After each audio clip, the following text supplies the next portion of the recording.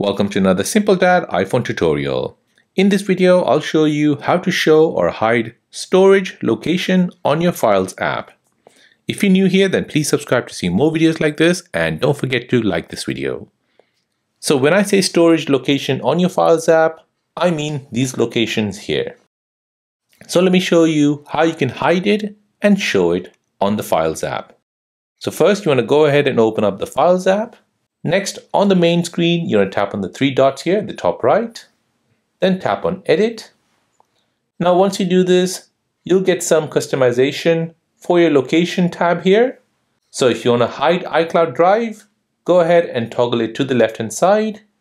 If you want to hide on my iPhone, again, toggle it to the left-hand side, and so on. Now, once you're happy with that, tap on Done, and as you can see, location only shows the recently deleted. Now let me show you how to bring back all those locations. So tap on the three dots again, tap on edit, and now go ahead and enable all of these. And then tap done.